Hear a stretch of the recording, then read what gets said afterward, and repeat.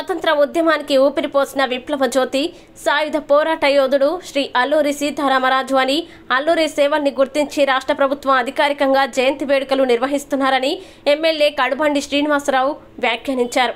కొత్త వలస తహసీల్దార్ కార్యాలయంలో కొత్త వలస క్షత్రియ సేవా సమితి ఆధ్వర్యంలో నిర్వహించిన అల్లూరి జయంతి వేడుకలకి ఎమ్మెల్యే కడుబండి శ్రీనివాసరావు ఎమ్మెల్సీ ఇందుకూరి రఘురాజు రాష్ట్ర Koppula Velama corporation chairman Lekkala Naidu Babu DCCB chairman Vechalapu రామానాయుడులు ముఖ్య అతిథులుగా పాల్గొన్నారు. ముందుగా అల్లూరి విగ్రహానికి ముఖ్య అతిథులు పూలమాలలు వేసి నివాళులర్పించారు. అనంతరం తహసీల్దార్ శ్రీనివాస్ మిశ్రా క్షత్రియ సేవా సమితి అధ్యక్షుడు గోపిరాజు కార్యదర్శులు పిఎస్ వర్మ పిఎస్ వర్మ హరిరాజుల ఆధ్వర్యంలో నిర్వహించిన సమావేశంలో ఎమ్మెల్యే కడుబండి మాట్లాడుతూ స్వతంత్ర ఉద్యమానికి అల్లూరి సీతారామరాజు చేసిన సేవలు రాష్ట్ర ప్రభుత్వం గుర్తించి జయంతి వేడుకలు అధికారికంగా నిర్వహిస్తున్నారన్నారు.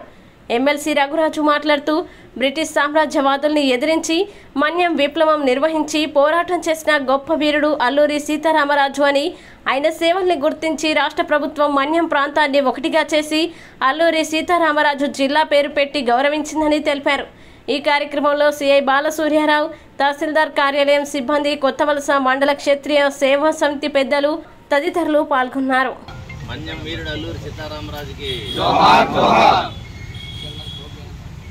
ఈ అల్లూరి సీతారామరాజు గారికి ఈ నూట ఇరవై ఐదవ జన్మదినోత్సవ సందర్భంగా ఈ కార్యక్రమాన్ని ఏర్పాటు చేసిన క్షత్రియ సొసైటీకి ధన్యవాదాలు తెలియజేస్తూ మీరు ఏ విధంగా అయితే రామరాజు గారిని గుర్తించుకుంటూ మనకి స్వాతంత్రం తీసుకురావడంలో ఆయనకు కీలకమైన పాత్ర పోషించారని మీరు ఎలాగైతే ఆయన సేవలను గుర్తించారో ఈరోజు ప్రభుత్వం కూడా మా గౌరవ ముఖ్యమంత్రి జగన్మోహన్ రెడ్డి గారు ఇంత గొప్ప స్వా- స్వాతంత్ర సమరయోధుడికి ఇంతకాలం గుర్తింపు లేకపోవడం ఏంటని చెప్పి ప్రత్యేకంగా అధికారికంగా ప్రభుత్వపరంగా ఈ ఈ గుర్తించడం అనేది చాలా అభినందనీయం.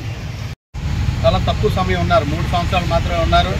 ఉన్నప్పటికీ రవి అస్తమించిన బ్రిటిష్ సామ్రాజ్యం కబంధ హస్తాల నుంచి భారతదేశం అది విముక్తి కావాలని ఆయన వంతు సహాయ సహాయంగా మరి ఎవరైతే అమాయక గిరిజన ప్రాంతాల్లో వారు ఉన్నారో వాళ్ళందరికీ కూడా అండగా నిలబడాలని చెప్పి మరి ఆ గిరిజన ప్రాంతాల్లో వాళ్ళందరికీ భాష భాషలుగా నించొని మరి ఏదైతే బ్రిటిష్ వారిని అటు ఆయుధాల రూపంలో అవనండి వాళ్ళు చేస్తున్న కార్యక్రమాలను ఎక్కడికక్కడ అడ్డుకొని మరి విప్లవం తీసుకురావడంలో ఆయన ఒక ముఖ్య భూమిక పోషించారు.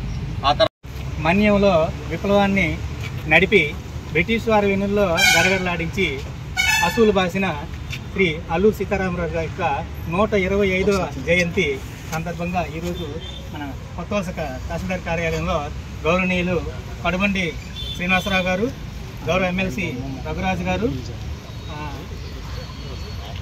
నాయుడు బాబు గారు పెద్ద పెద్దలందరూ వచ్చి ఈ కార్యక్రమానికి అటెండ్ అయ్యాయి